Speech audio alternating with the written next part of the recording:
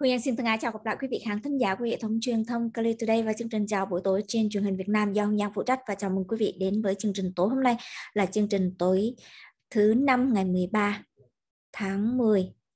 Tin tức ngày hôm nay nhiều lắm quý vị. Nhưng mà đặc biệt vào ngày hôm nay, đó là cái phiên điều trần công khai và có lẽ là cái phiên điều trần cuối cùng của Ủy ban đặc biệt Hạ viện điều tra vụ bạo động điện Capitol ngày 6 tháng 1 và họ đã tung ra những cái thông tin, mặc dù không có những chứng, không có nhiều chứng cứ mới, nhưng những cái băng hình và những cái đoạn băng mà lời khai của nhân chứng, họ tung ra, gây quý vị biết kinh ngạc.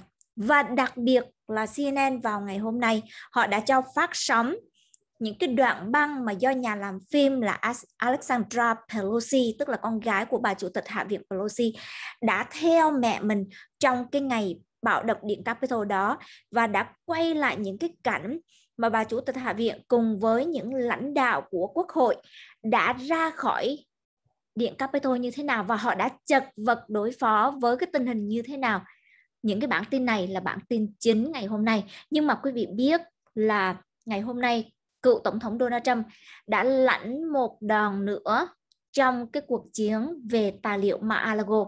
Ngày hôm nay tối cao pháp viện đã đưa ra cái phán quyết, và phán quyết này thì chỉ có ghi võn vẹn một câu thôi quý vị, ngắn gọn đó là họ bác bỏ cái thỉnh nguyện của ông Donald Trump, yêu cầu tối cao pháp viện can thiệp vào cái cuộc tranh chấp về tài liệu này. Chúng ta còn nhớ là phía ông Donald Trump đã đệ đơn lên tối cao pháp viện một thỉnh nguyện khẩn cấp trong đó yêu cầu tối cao pháp viện can thiệp vào cái cuộc tranh chấp này, yêu cầu tối cao pháp viện đảo ngược cái phán quyết, một phần phán quyết của tòa phúc thẩm liên bang khu vực 11 ở Atlanta. Cái phán quyết của tòa à, phúc thẩm liên bang khu vực 11 thì nó có một số phần, trong đó cái phần quan trọng nhất là họ cho phép FBI vẫn sử dụng, được sử dụng hơn 100 tài liệu mật mà họ thu giữ được tại Mar-a-Lago. Trong quá trình, trong cái cuộc khám xét à, dinh thự của ông Donald Trump vào ngày 8 tháng 8. Tức là tòa phúc thẩm liên bang đã đảo ngược cái quyết định của bà Eileen Cannon lập tòa cấp dưới. Ngoài ra cái quyết định của tòa phúc thẩm liên bang khu vực 11 còn có thêm một phần nữa. Đó là không cho phép luật sư đặc biệt. Trong trường hợp này đó là ông Raymond Derry do bà Eileen Cannon bổ nhiệm xem xét những cái tài liệu đó mà ông Diary xem xét được, có nghĩa là luật sư của họ cũng xem xét được. Và cái thỉnh nguyện này được ông Clarence Thomas thẩm phán tối cao pháp viện thụ lý bởi vì ông được giao trách nhiệm thụ lý những cái thỉnh nguyện khẩn cấp thuộc tòa khu vực 11.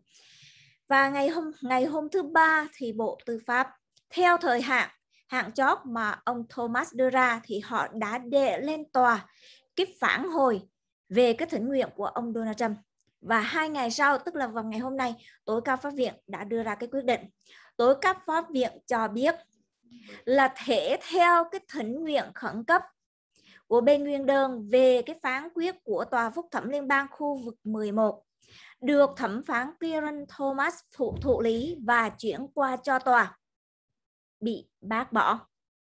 Ngắn gọn, tức là tối cao pháp viện họ đã đưa ra một lời của trách rõ ràng, thẳng thắn đối với ông Donald Trump.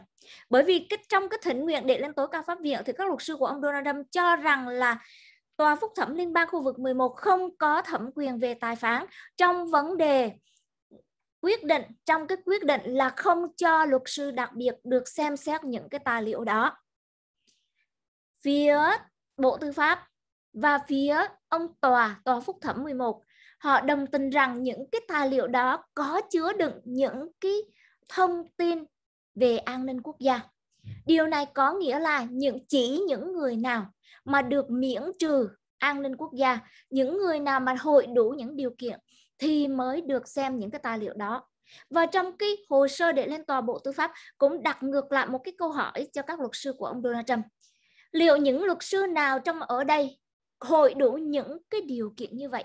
Thậm chí là cái điều kiện một cái điều kiện, tức là một cái tiêu chuẩn. Tại vì trong đó, những cái tài liệu mật có những cái tài liệu tuyệt mật, có những cái tài liệu mà chỉ có những người nào mà được quyền, được miễn trừ an ninh quốc gia chỉ trong trường hợp đó thôi mới được xem. Và rõ ràng tối cao pháp viện đã đồng tình với cái lập luận này. Và tối cao pháp viện đã lại giáng một đòn vào ông Donald Trump. Điều này không có gì ngạc nhiên bởi vì chúng ta biết là mặc dù 6 vị thẩm phán bảo thủ cái cán cân ở tối cao pháp viện nghiêng về phía bảo thủ và trong đó ba vị là do ông Trump bổ nhiệm. Có một tiếng nói mà bên vực ông Trump gọi là công khai, đó là Clarence Thomas. Thì bây giờ, nhưng mà trong tất cả những cái thỉnh nguyện mà Donald Trump để lên tối cao pháp viện thì đều cho thấy là tối cao pháp viện họ không có đưa ra những phán quyết có lợi cho ông Donald Trump. Và lần này cũng vậy, phán quyết ngắn gọn, chỉ vỏn vẹn một câu và họ, họ không có cho biết là có những cái ý kiến bất đồng hay không. Họ cũng không có giải thích lý do, chỉ cho biết rằng cái thỉnh nguyện của Donald Trump bị bác bỏ. Và quý vị biết nhân tiện nói về điều này, truyền thông ngày hôm nay cũng cho biết là những lời khai của nhân chứng cho biết là vào sau bầu cử năm 2020 khi mà phía Donald Trump đã đệ một thỉnh nguyện khẩn cấp lên tối cao pháp viện, yêu cầu tối cao pháp viện đảo ngược kết quả bầu cử, thì tối cao pháp viện đã quay lưng lại và Donald Trump hết sức kinh ngạc. Và ngày hôm nay cũng có thông tin là ông Donald Trump đã thành lập một công ty mới, cũng là Trump Organization ở Delaware. Và vào ngày 21 tháng 9 vào cái ngày mà bà tổng biện lý tiểu bang New York, đó là bà Letitia James bà đệ cái vụ kiện dân sự chống lại Trump và Trump Organization vì cách thực hành kinh doanh, gian lận trốn thuế của họ. Thì cũng ngày đó, phía ông Donald Trump đã đệ đơn lên nhà chức trách New York để thông báo là Trump Organization về việc thành lập Trump Organization ở Delaware và đây sẽ là Trump Organization 2 và không biết là cái mục tiêu là gì nhưng mà phía à, các chuyên viên pháp lý phân tích thì họ cho biết là có thể là đây là một bước đi của ông Donald Trump nhằm tránh cái chuyện là cái vụ kiện dân sự của bà James. Bởi vì cái chuyện cái vụ kiện dân sự này cái cuộc điều tra này thì đa phần là cho thấy ông Donald Trump thất thế và ông ta muốn bảo toàn lực lượng. Ông ta muốn giữ cái công ty như vậy và cho nên đã thành lập ở Delaware chúng ta chờ xem xem thử những cái phân tích này có đúng không? Và thực sự là mục tiêu gì đứng đằng sau cái việc thành lập một Trump Organization nữa tại Delaware? Mà tại Delaware chứ không phải là tại tiểu bang nào khác. Ngày hôm nay vào khoảng hơn 5 giờ chiều đã có một vụ thảm sát xảy ra tại thành phố Raleigh, tiểu bang North Carolina. Đã làm cho 5 người bị thiệt mạng và trong đó có một cảnh sát và tin tức này hết sức là đau lòng. À, tại buổi quý vị biết là tại những cái thông tin được đưa ra vào tối ngày hôm nay trước khi Hương Giang lên làm bản tin này thì cũng chưa có thông tin gì cụ thể đặc biệt cả. Nhưng mà chỉ biết là nhà chức trách đã bắt giữ được nghi can sau một cái cuộc săn lùng hết sức là gắt gao. Và nghi can có vẻ như đây là một à, một đối tượng vị thành niên và không biết là cái mục cơ à, cái mục tiêu và động cơ như thế nào vẫn còn nhiều điều chúng ta chưa được rõ bây giờ Hương Nhân quay trở về cái phần tin lớn nhất ngày hôm nay đó là cái phiên điều trần công khai của Ủy ban đặc biệt Hạ viện điều tra vụ bạo động điện Capitol. Đây có thể được xem là phiên điều trần cuối cùng, phiên điều trần thứ 9 và cuối cùng. Bởi vì nếu như mà sang tháng à, sau bầu cử giữa kỳ vào tháng 11 và Hạ viện rơi vào tay Cộng hòa kiểm soát thì điều này có nghĩa là ủy ban này muốn hay không muốn họ cũng phải là khép lại cái cuộc điều tra của mình và họ sẽ giải tán bởi vì có còn đi chăng nữa khi Cộng hòa lên thì cũng dẹp ủy ban này. Bây giờ ủy ban này ngày hôm nay có những gì xảy ra trong cái phiên điều trần? Có những điểm nổi bật mà Hương Giang muốn chia sẻ với quý vị mỗi một cơ quan truyền thông thì họ có những cái cách nhìn khác nhau. Đây là cách nhìn của hương giang. Thứ nhất là ủy ban đã bỏ phiếu tống trác đòi ông donald trump tài liệu và lời khai. Quý vị biết là trước đây đó, ủy ban này họ cũng đã từng công khai, bày tỏ là cái ý định tống trác đòi ông Donald Trump. Nhưng mà ngày hôm nay thì bị ủy ban mới chính thức bỏ phiếu. Và như vậy, ủy ban yêu cầu ông Donald Trump cung cấp tài liệu cho họ và đi ra lấy lời khai. Điều này cho thấy là vào lúc này đây khi mà ủy ban đang dần khép lại các cuộc điều tra của mình và họ chỉ còn vài tháng để hoàn tất cái báo cáo kết luận điều tra và để có thể đưa ra cái báo cáo kết luận điều tra và những cái đề nghị của mình về mặt lập pháp, thì họ đã, họ vẫn muốn có được lời khai của ông Donald Trump. Và điều này cho thấy, điều gì? Điều này cho thấy là một cái sự leo thang trong cái nỗ lực lấy lời khai của ông Donald Trump ngay ở những cái phút chót của cái cuộc điều tra này. Trước đây, mỗi lần mà nghe thông tin là ủy ban đặc biệt Hạ viện có ý định là tống chắc đòi Donald Trump ra khai thì Donald Trump cho rằng, chuyện nhỏ, tôi sẵn sàng ra khai. Ông Donald Trump bảo rằng ông ta sẵn sàng ra khai. Chỉ một điều kiện là cái cái phiên điều trần của ông ta phải được truyền hình trực tiếp thì ông ta mới ra khai. Đó là trước đây, còn bây giờ chúng ta chưa biết. Nhưng mà rõ ràng, khó lòng mà buộc ông Donald Trump tuân thủ được bởi vì như Hương Nhân nói, cuộc điều tra này nó đang dần khép lại và nếu như mà Cộng hòa giành được quyền kiểm soát thì có nghĩa là ủy ban này giải tán sớm thôi có vẻ như họ biết điều đó, cho nên họ đang wrap up lại và có nghĩa là họ thừa nhận tấm chắc đòi thì tấm chắc đòi, nhưng mà khó lòng mà buộc ông Donald Trump ra khai. Mà Donald Trump đó, nếu như mà ông Donald Trump chống lại chắc đòi này thì ông ta sẽ dẫn đến một cái cuộc chiến pháp lý rất là lâu dài. Và không biết là cái cuộc chiến pháp lý này sẽ diễn ra như thế nào nếu, đây là hương giang nói, hai chữ nếu.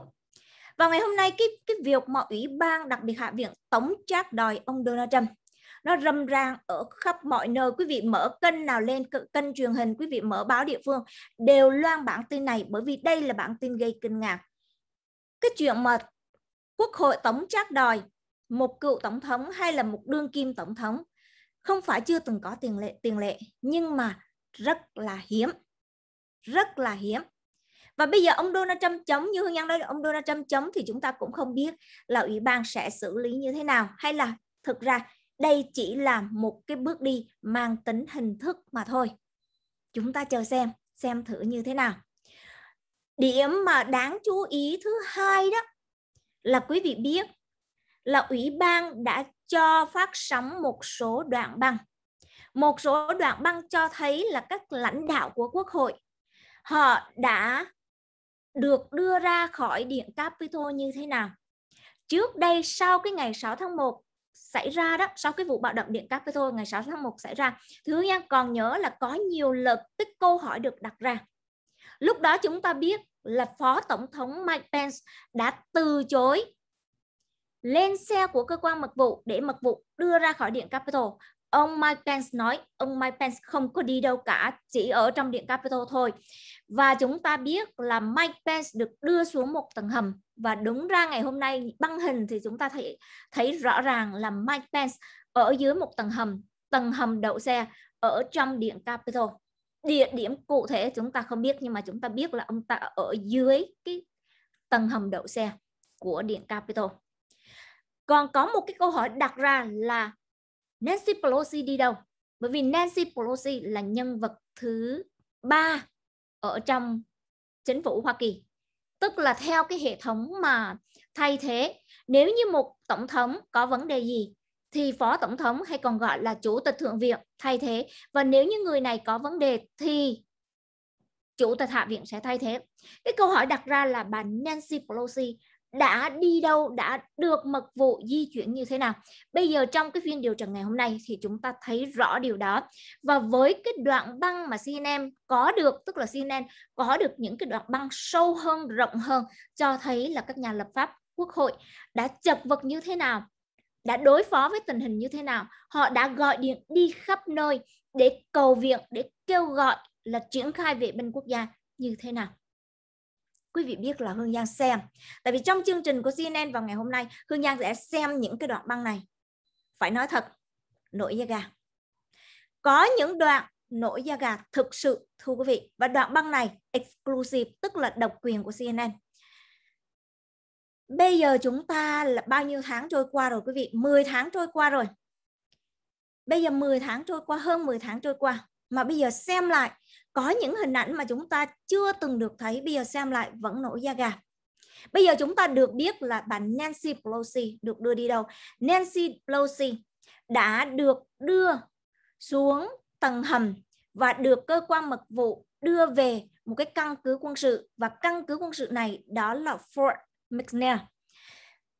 Tất cả lãnh đạo quốc hội cùng một số nhà lập pháp đã được đưa về đây và ngay lập tức họ lập uh, họ thành lập một cái cái cơ sở tại căn cứ quân sự này để cho quốc hội để cho các nhà lập pháp họp gặp mặt ở đây.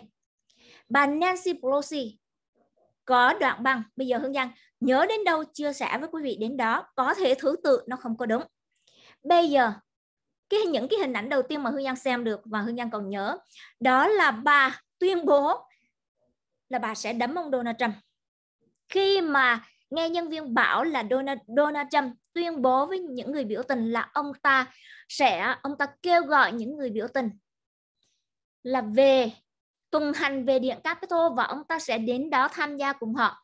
Bà Nancy Pelosi bảo rằng tôi sẽ đấm ông ta. Nếu mà ông ta đến đây tôi sẽ đấm ông ta. Tôi chờ đợi điều này. Chờ đợi. Ờ, tức là ông ta xâm phạm vào cái khuôn viên của điện Capitol. Tôi sẽ đấm ông ta, tôi sẽ đi tù và tôi sẽ lấy làm vui về điều này. Và những đoạn băng này như Hương Giang nói đó là do Alexandra Pelosi con gái của bà Pelosi đã theo mẹ mình đã ghi lại những cái cảnh như vậy và trong ngày hôm đó có cả cháu của bà Nancy Pelosi và khi mà đám đông bạo loạn xông vào điện Capitol thì bà Nancy Pelosi được mật vụ đưa đi mà quý vị biết, rất là bình tĩnh. Phải nói là xứng đáng là một vị lãnh đạo. Bà rất là bình tĩnh. Vừa đi không có gì là hấp tấp vội vã, đi nhanh nhưng mà vừa đi và vừa điều khiển công việc. Đã ai gọi điện? Đã có ai gọi điện cho Mitch McConnell chưa? Đã có ai gọi điện yêu cầu, viện binh yêu cầu Nash à, vệ binh quốc gia hay chưa? Vừa đi vừa điều khiển công việc. Và điều quan trọng là gì quý vị biết? Bởi vì khi mà đám đông bạo loạn xông vào điện Capitol bọn chúng tìm gì? Tìm những cái thùng đựng phiếu cử tri đoàn. Lấy những lá phiếu đó hủy đi thì đâu có còn cái thủ tục chứng nhận phiếu cử tri đoàn nữa.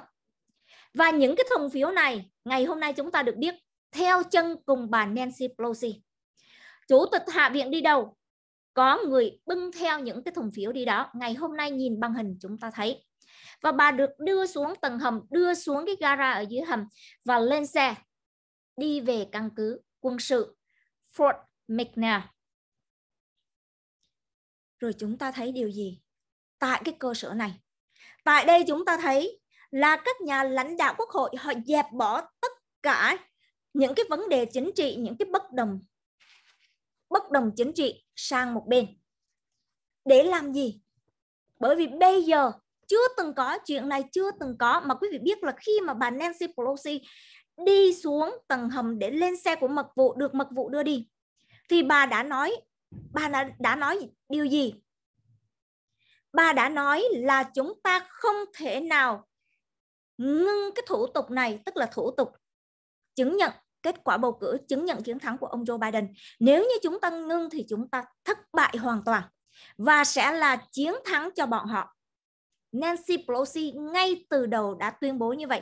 Điều này thấy rõ là cái sự quyết tâm của lãnh đạo quốc hội là dù gì thì dù cái thủ tục lưỡng viện, cái thủ tục chứng nhận kết quả bầu cử năm 2020, cái thủ tục chuyển giao quyền lực vẫn phải diễn ra và diễn ra thành công. Bây giờ tại căn cứ quân sự Fort McNair, Nancy Pelosi Mitch McConnell, Chuck Schumer và có cả sự hiện diện của Kevin McCarthy nữa. Những lãnh đạo của Quốc hội, Dân Chủ và Cộng Hòa. Họ cùng, quý vị biết là bao nhiêu cuộc điện thoại. Nancy Pelosi, Chuck Schumer đã gọi cho ai? Họ gọi cho Christopher Mueller, tạm quyền Bộ trưởng Bộ Quốc phòng. Họ gọi cho Jeffrey Rosen, tạm quyền Bộ trưởng Bộ Tư pháp họ gọi cho Ryan McCarthy, Bộ trưởng Bộ Lục quân. bà Nancy Pelosi gọi điện cho thống đốc của tiểu bang Virginia. Họ gọi điện để làm gì? Yêu cầu triển khai vệ binh quốc gia phải có biện pháp ngay lập tức để bảo đảm an toàn.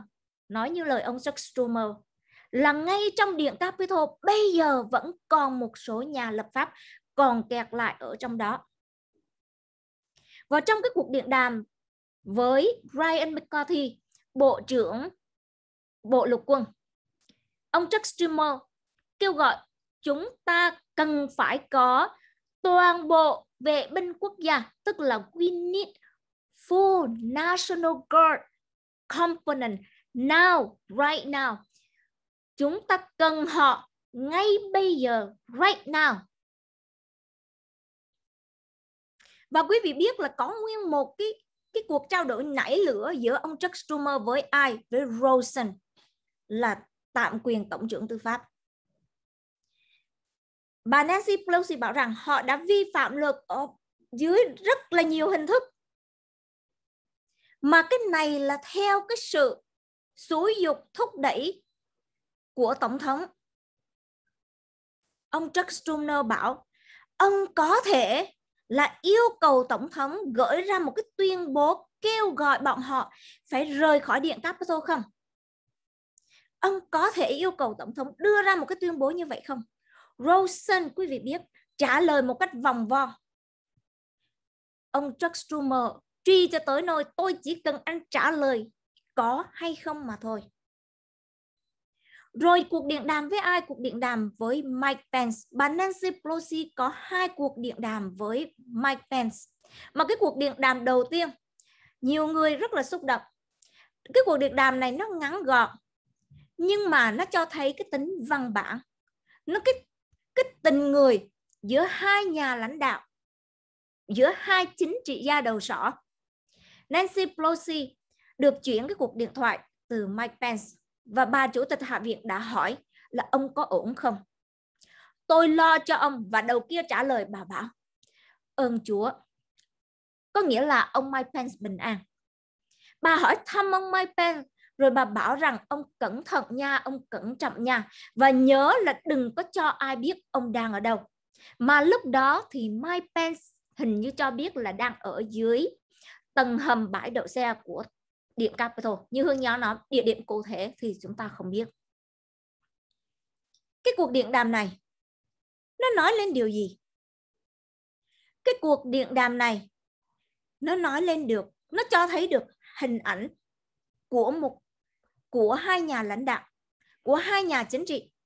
Vào lúc đó, vào cái giây phút, vào cái, những cái giây phút khủng hoảng, vào những cái giây phút mà nó có ảnh hưởng tới tính mạng như vậy họ đã quan tâm tới nhau, họ gọt, gạt bỏ. Chính trị, nó không còn là vấn đề nữa. Sự bất đồng, nó không còn là vấn đề nữa. Nó cho thấy rất là nhân bản. Cuộc điện đàm thứ hai mà giữa ông Mike Pence với bà Nancy Pelosi, đó là Mike Pence thông báo cho Nancy Pelosi biết là vệ binh quốc gia chuẩn bị được bạn được triển khai bảo vệ và họ thông báo là chúng ta có thể quay trở lại điện Capitol trong vòng hơn một tiếng đồng hồ nữa, tức là vào khoảng 8 giờ rưỡi 9 giờ tối, nếu mà Hương Nhan nhớ không nhầm. Và rất là vui mừng, có ông Chuck Grassley, có bà Nancy Pelosi, có ông Chuck Schumer lắng nghe cái cuộc điện đàm này và họ rất là vui mừng. Và Mike Pence thông báo là ông ta đang ở điện Capitol, đang đứng cạnh cảnh sát trưởng Capitol. Và đang đứng cạnh cảnh vệ và Mike Pence thông báo là cảnh vệ sẽ, cảnh vệ sẽ gọi điện cho bà Nancy Pelosi để trực tiếp thông báo tình hình. Và quý vị biết là xem những cái đoạn băng này, chúng ta mới thấy là nổi da gà. Quý vị biết là trong khi đó, sau sau cái cuộc bạo động này, Donald Trump và thậm chí một số nhà lập pháp ngay trong quốc hội đứng về phía ông Donald Trump, chỉ trích bà Nancy Pelosi bảo rằng là Nancy Pelosi cản trở không cho triển khai viện binh quốc gia. Nhưng mà băng hình này cho thấy điều này hoàn toàn ngược lại. Và đã có lúc họ hết sức là gay gắt. Họ bảo rằng tại vì sao các ông các ông nắm trong tay cái quyền lực, cái thẩm quyền để triển khai viện binh quốc gia mà cho đến giờ phút này vẫn chưa có triển khai. Khi mà nói chuyện với Christopher Miller và Christopher Miller bảo là cần phải có cái mệnh lệnh của cấp trên mấy tiếng đồng hồ sau. Thì vệ binh vệ binh quốc gia mới được triển khai. Mới dẹp được bạo loạn mà quý vị biết là băng hình đó cho thấy từng giây phút một. Khi những kẻ bạo động xông vào điện Capitol, bà Nancy Pelosi ở đâu? Bà di chuyển như thế nào? Những kẻ bạo động tìm đến Mike Pence, tìm đến Nancy Pelosi, đòi giết Mike Pence, đòi giết Nancy Pelosi rõ rành rành ra đó. Đó là một trong những cái cái điểm nổi bật mà thương nhân thấy là điểm nổi bật nhất trong cái phiên điều trần này. Họ đưa ra những cái đoạn băng như vậy, mặc dù đoạn băng của họ vắng tắt hơn và cùng với những cái đoạn băng mà CNN họ phát sóng vào đầu giờ tối ngày hôm nay. Vào tối ngày hôm nay thì cho thấy rất là đáng kinh ngạc. Cái điểm nổi bật thứ ba, theo đánh giá của Hương Giang đó là cái lời khai của cô Hutchinson Cassidy Hutchinson là nhân chứng ngôi sao trong một trong những cái phiên điều trần công khai trước đây của Ủy ban đặc biệt Hạ viện. Và Cassidy Hutchinson vào ngày hôm nay lời khai của cô cũng được Ủy ban trình chiếu. Lời khai này nói về gì? Thưa quý vị, Hutchinson một lần nữa khẳng định là Donald Trump biết là mình đã thất cử rồi. Cô cô nhắc lại cái cuộc điện đàm mà dẫn đến cái cuộc điều tra hiện nay của bà Fanny Willis, viện lý quận Fulton tại Georgia. Đó là Donald Trump cùng một số luật sư của mình đã gọi điện cho ông Brad Raffensperger là chánh thư ký tiểu bang Georgia để hối thúc làm sao tìm cho ra um, cái số phiếu mà để ông Donald Trump có thể lật ngược kết quả bầu cử. Và Cassidy Hutchinson cho biết là cô bày tỏ với ông chủ của mình sếp lớn của mình à, sếp trực tiếp của mình đó là Mark Meadows cựu đồng lý tòa bạch ốc. Cô bảo rằng cái cuộc điện đàm này nó crazy nó điên khùng lắm. Thì Mark Meadows đã nhìn vào cô và bắt đầu lắc đầu. Ông ta bảo là không Cass à cô biết ông ấy biết là ông đã thua cử rồi. Ông đã thất cử rồi. Ông ta, ông ấy biết là mình thua nhưng mà chúng ta vẫn phải cố thôi.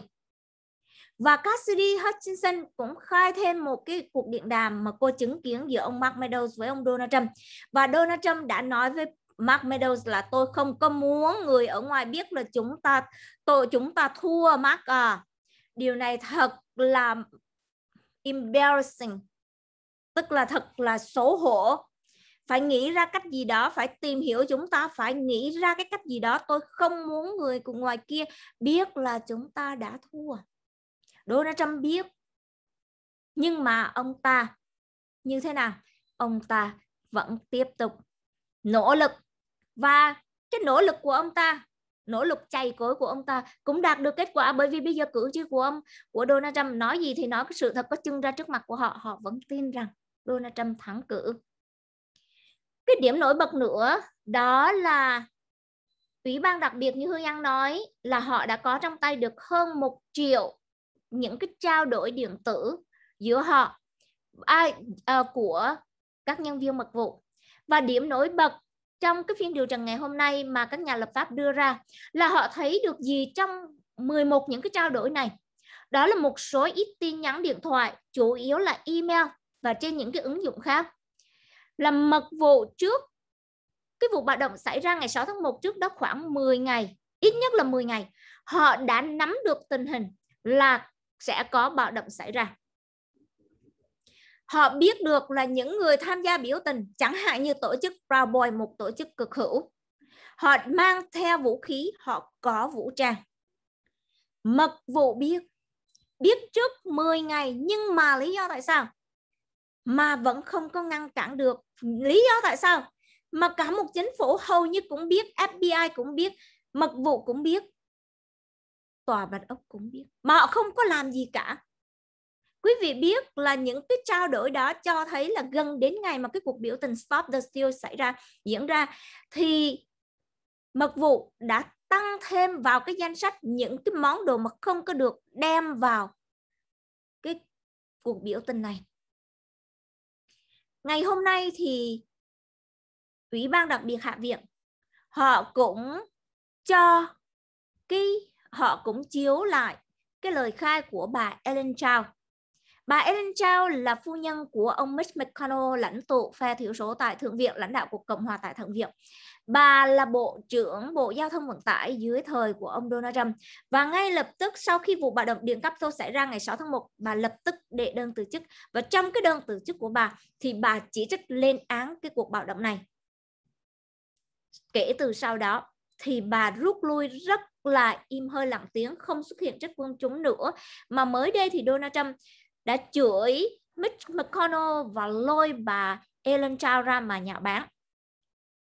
Bà Ellen Chao cách đây mấy tuần đã có một phiên điều trần kiến trước ủy ban này. Ngày hôm nay thì ủy ban cho trình chiếu. Mà quý vị biết là Hương Giang muốn chia sẻ những cái lời của bà Ellen Chao bởi vì những cái lời của bà Ellen Chao nó Hương Giang phần nào cảm nhận được thực sự là như vậy khi mà hương nhân đọc, nghe cái phần, cái cái cái cái phần điều trần của bà đó, có những câu mà hương giang rất là chia sẻ. Chẳng hạn như bà nói, cái sự kiện, những cái sự kiện ngày 6 tháng 1 nó gây kinh ngạc đến nỗi mà tôi không thể nào bỏ qua một bên. Những cái sự kiện như vậy, nó làm cho tôi không thể tiếp tục được nữa. Bởi vì theo những cái giá trị cá nhân của tôi và theo những cái triết lý cá nhân của tôi tôi không thể tiếp tục được nữa. Tôi đến quốc gia này là một di dân. Tôi là một di dân đến quốc gia này. Tôi tin vào quốc gia này. Tôi tin vào chuyển giao quyền quyền lực ôn hòa.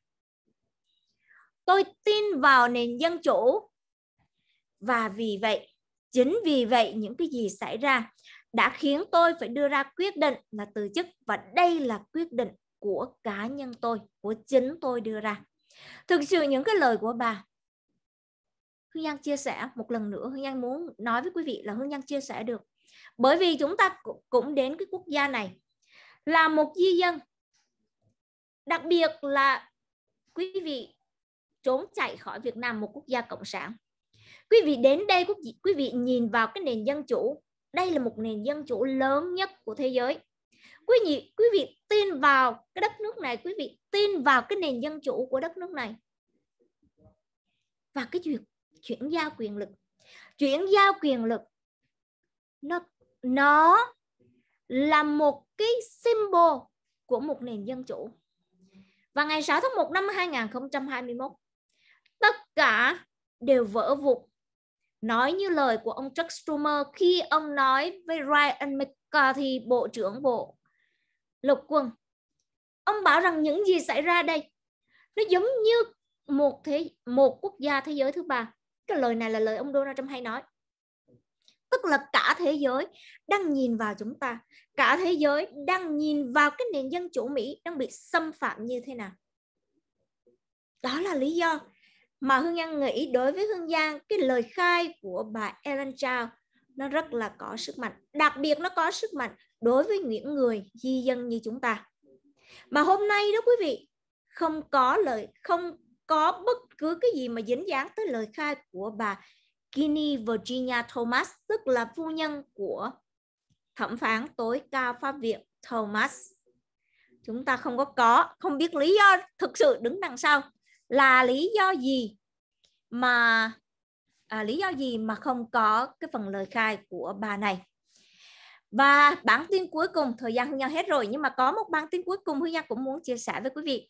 Ngày hôm qua Hương đã Hương Nhân đã loan tin cho quý vị biết đó là tờ Washington Post là tờ đầu tiên mà cho biết là có một nhân viên của ông Donald Trump người này hiện đang làm ở Mar-a-Lago. Người này đã hợp đúng ra là chưa hợp thì hương nhân, không có rõ là có hợp tác hay không, nhưng mà đây được xem là một nhân chứng, và nhân chứng này đã khai với các nhà điều tra là nhân chứng này đã di chuyển những cái thùng tài liệu ra khỏi cái phòng kho ở dưới tầng hầm trong Mar-a-Lago, theo chỉ thị, theo lệnh trực tiếp từ ông Donald Trump Đó là bản tin của Washington Post, dựa theo những nguồn tin mà họ biết được. Và điều này cho thấy là FBI họ có lời khai của nhân chứng và họ có băng hình để củng cố lời khai của nhân chứng. Nhân chứng này được cho là lần đầu tiên FBI thẩm vấn thì chối, chối bay chối biến bảo mình không có dính dáng gì tới những cái thùng tài liệu như vậy. Nhưng mà khi mà FBI có được băng hình trong tay và lần thứ hai thẩm vấn thì cái câu chuyện nó đã thay đổi một cách đáng kể và nhân chứng này khai là đã di chuyển những cái thùng tài liệu đó theo chỉ thị trực tiếp từ ông Donald Trump. Đó là bản tin của Washington Post đầu tiên. Đến tối ngày hôm qua, Hương Giang làm xong cái chương trình chào buổi tối tối ngày hôm qua thì thấy New York Times loan tin. Có một nhân viên của ông Donald Trump người xuất hiện trong cái băng hình giám sát đã di chuyển những cái tài liệu đó ra những cái thùng tài liệu đó ra khỏi mà à, ra khỏi cái cái phòng kho đây là nhân viên của ông Donald Trump có tên là Ward Nota. Ward Nota trước đây làm việc gọi là người tùy tùng. Người phục vụ, đó, nhân viên phục vụ, nhân viên tùy tùng cho ông Donald Trump tại tòa Bạch Ốc. Rồi sau đó thông thường ở cái vị trí này là những người ở bên quân đội mà hình như là người này Hương Nha không rõ là ở bên lục quân hay à, ở bên lục quân hay là ở cái cái binh chủng nào và sau khi mà ông Donald Trump rời khỏi tòa Bạch Ốc thì Nota 39 tuổi, quay trở lại làm việc cho ông Donald Trump, vẫn làm tùy tùng, tức là nhân viên phục vụ. New York Times loan tin như vậy, nhưng mà New York Times không có rõ là Nota có phải là nhân vật mà Washington Post họ loan tin trước đó hay không. New York Times họ chỉ biết đây nhân chứng này đã trả lời thẩm vấn FBI nhưng không có hợp tác với cái cuộc điều tra này. Và ngày hôm nay thì Washington Post có vẻ như họ khẳng định là nhân viên mà đã hợp tác với cuộc điều tra, tức là nhân viên đã uh, khai, đã cung cấp những cái lời khai về chỉ thị của ông Donald Trump cho FBI chính là Nota nhưng mà quý vị biết là FDI họ dự kiến những cái thông tin này, họ dự kiến danh tánh nhân chứng của họ. Mà nếu bây giờ truyền thông đưa ra như vậy thì có phải là nhân chứng này sẽ gặp nguy hiểm hay không? Bộ Tư pháp im lặng. Luật sư của ông Donald Trump im lặng. Phát ngôn nhân của ông Donald Trump. Thì chỉ trích chỉ trích Bộ Tư pháp, chỉ trích chính phủ Joe Biden đã vũ khí hóa thực thi công lực để đàn áp ông Donald Trump. Oh tin tức về Donald Trump nhiều quá thưa quý vị. Nhưng mà thời gian của Hương Giang đã hết rồi có lẽ là Hương Giang tạm ngưng phần tin ngày hôm nay tại đây. Và những diễn biến mới ngày mai Hương Giang sẽ chia sẻ với quý vị. Và nếu như quý vị nào à, muốn theo dõi những cái đoạn băng đó cho dù quý vị biết là cho dù quý vị không có rành anh ngữ đi chăng nữa quý vị lên mạng quý vị search và quý vị và những cái cơ quan truyền thông lớn thì hầu như cơ quan đặc biệt là CNN tại vì đây là những cái đoạn băng mà CNN độc quyền quý vị có thể xem những cái đoạn băng này cho dù quý vị có, cái vốn Anh ngữ không có nhiều, nhưng mà quý vị có thể nhìn vào những hình ảnh, quý vị có thể hiểu được là lãnh đạo quốc hội họ đã chật vật như thế nào trong cái ngày 6 tháng 1 đó khi mà bạo động xông vào điện Capitol. Họ đã ra khỏi điện Capitol an toàn và họ đã phải gọi điện, họ đã hối thúc, họ đã làm những gì để mà kêu gọi chính quyền triển khai vệ binh quốc gia để tiếp tục cái thủ tục chuyển giao quyền lực, ôn hòa của mình như thế nào và như vậy, nó mới khôi phục được cái niềm tin vào nền dân chủ Mỹ. Cảm ơn quý vị đã theo dõi chương trình của chúng tôi. Kính chúc quý vị một buổi tối ấm cúng. Xin chào và xin hẹn gặp lại.